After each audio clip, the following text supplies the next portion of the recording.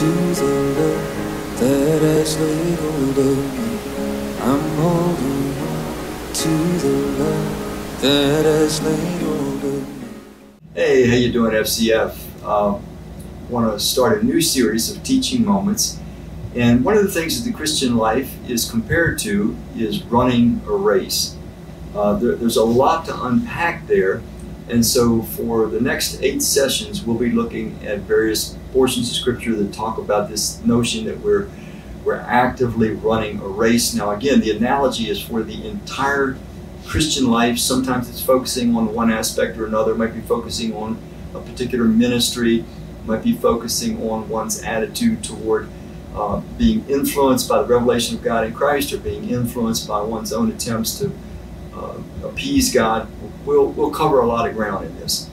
But I want to start by reading in the book of Hebrews, uh, chapter 12, just a little background. The book of Hebrews, when it was written, it's about 67 AD. The Jewish temple was still standing. It would be three more years before, in 70 AD, it was torn down. Uh, the whole context of the book of Hebrews is that those Jewish believers in Jesus were now undergoing or had been undergoing persecution and hard times for a long time. And some of them were starting to waver in considering going back into the temple, embracing Judaism again, offering animal sacrifices, which would have meant that the sacrifice of Jesus was of no value. Anyway, a little, little bit of background. Here we go. Hebrews chapter 12, verse 1. Therefore, since we are surrounded by such a great cloud of witnesses, let us throw off everything that hinders and the sin that so easily entangles, and let us run with perseverance the race marked out for us. Let us fix our eyes on Jesus, the author and perfecter of our faith. Let me go back.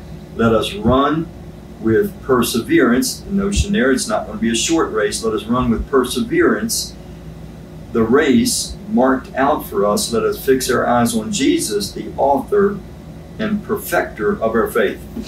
So here we start being urged to strip ourselves down. Picture a runner. A runner wants to get light as can be. A runner doesn't want anything entangling them, wants to be free to move as swiftly and as freely as possible. But your, my whole Christian life is now being compared to a running race. And Jesus is the one that's already run the race successfully. He's the author and perfecter of our faith. He has shown us what it means to run this race. Jesus perfectly fulfilled the will of the Father. He revealed the Father to humanity. All the fullness of God has now been revealed to us in Christ. Christ so revealed the heart of God that the most powerful force for drawing human beings back into a trusting relationship with God has now been released ever since Jesus' revelation, which culminated with his sacrificial death on the cross and then ultimately his, his resurrection. Now, that power of God to draw human beings back into a trusting relationship has been maximized. Nothing can surpass that. But we're urged to examine the life of Jesus and as that to be the, the course of the race that we run. Let's make a few observations about uh, why would this why would the writer of the book of Hebrews give us this analogy of a race? Well, there's a lot to be said about a race. First of all, you can't run in a race unless you're very intentional. You you know that you're not just going for a walk. You're very intentional about it. You're very watchful. You're aware that you have to stay on guard. You have to be vigilant. You have to give maximum effort.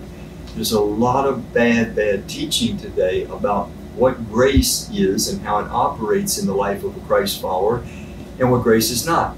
Uh, you'll you'll hear people occasionally say, you know, you just let go and let God, and just let grace trust you, or let grace transform you. I should say, that is not true. The Scripture urges us in multiple places that we are to cooperate with God. Running a race is very intentional. It calls for us to exert force. Other places, for example, in the New Testament, it says we are to put off our old self put on our new self. That calls for action. And so this notion of let go and let God, it's, it's just false teaching.